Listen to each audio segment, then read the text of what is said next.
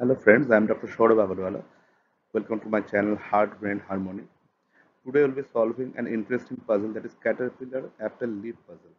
And uh, now we'll be solving this puzzle as this puzzle is circulating everywhere in the social media.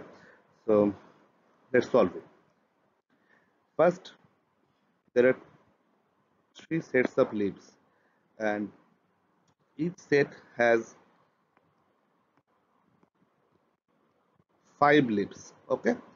So the five leaves five leaves five leaves that means there are 15 leaves and the total number is 15 so each leaf has value of 1 now there are three caterpillars.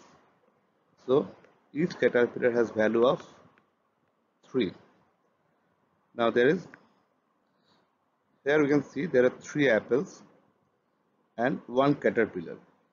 And the total value is 30 so 30 minus one caterpillar that is 3 27 and there is three apples.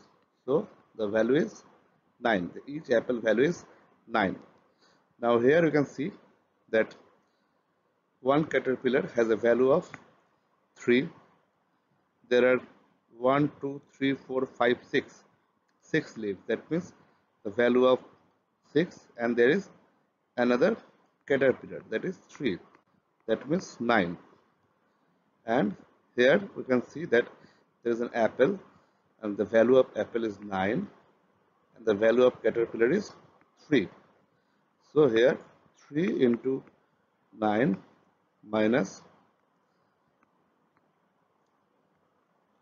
9 plus that is 27 minus 12 that is 15 there is the exact value. So the final answer is 15 thank you